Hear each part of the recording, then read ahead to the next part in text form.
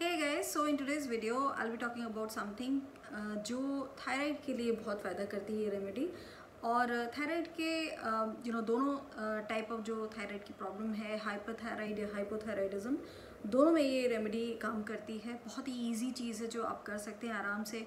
No बहुत सारे लोग बहुत बिज़ी रहते हैं तो थायराइड में आप कुछ योगा भी कर सकते हैं बट कुछ लोगों के पास टाइम नहीं रहता है कि वो योगा करें। तो ये जो एक रेमेडी है, वो ज़रूर सब कर सकते हैं। ये थायराइड के साथ साथ स्किन के लिए भी बहुत अच्छी है। तो आपको अगर आपकी स्किन में शाइन चाहिए और यंगर लुकिंग स्किन चाहिए तो भी आप ये रेमेडी यूज़ कर सकते हैं। थायराइड जो है, वो एक बहुत ही इंपॉर्टेंट ग्लैंड है, जो हम लोग सोचते हैं उससे भी ज़्यादा इंपॉर्टेंट ग्लैंड है ये। इस ग्लैंड का जो सबसे ज़्यादा ज़रूरी काम है वो है T three and T four hormones का प्रोडक्शन करना जो हमारे मेटाबॉलिज्म को कंट्रोल करते हैं। मेटाबॉलिज्म के अलावा भी काफ़ी सारी चीज़ों में थायराइड हार्मोन जो है वो काफ़ी उसका इम्पैक्ट है। आ, जो हमारी बॉडी का टेम्परेचर है उसको रेगुलेट करने में ब्लड कैल्शियम लेवल्स में और जो ब्रेन डेवलपमेंट है उसमें भी। जो रेमेडी आज I am show you guys वो जो है वो वॉलनट ऑयल की रेमेडी है और इस तरीके का ये वॉलनट ऑयल है।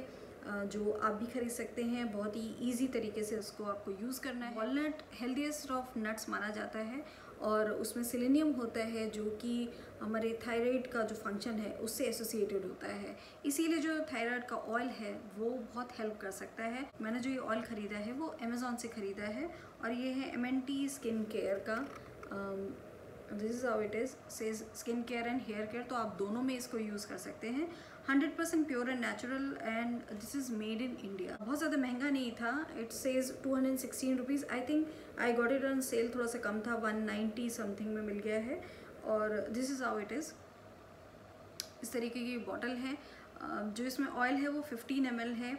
Says premium grade hundred percent pure carrier oil तो ये एक कैरियर ऑयल होता है वॉलनट ऑयल इसको यूज़ ऐसे करना है कि रात में आप केवल एक बार आप जब सोने जाएँ, जिनको भी थायराइड की प्रॉब्लम है उसके अलावा स्किन के लिए भी आप ये कर सकते हैं। तो ज़रूरी नहीं कि थायराइड वाले ही करें स्किन अगर आपको अच्छी करनी है, उसके लिए भी कर सकते हैं। तो आप थोड़ा सा ये ऑयल है, ऐसे पाम में लेके आप थ्री फोर ड्रॉप्स इसको ले लेंगे ऑयल को, और सिंपली क्योंकि हम लोग थायराइड की मसाज करेंगे तो हम लोग and I can tell you guess की जो फ्रेगरेंस है वो बहुत अच्छी है।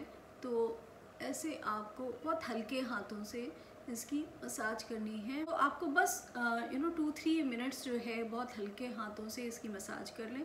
आई थिंक इससे सिंपल कोई रेमेडी हो नहीं सकती है कि थायराइड में आपको हमेशा के लिए जो मेडिसिन है वो लेनी पड़ती है।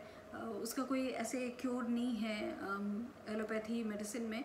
तो इसके लिए मुझे लगता है कि बहुत ही सिंपल रेमेडी है, इसके अलावा भी और बहुत रेमेडी होती है।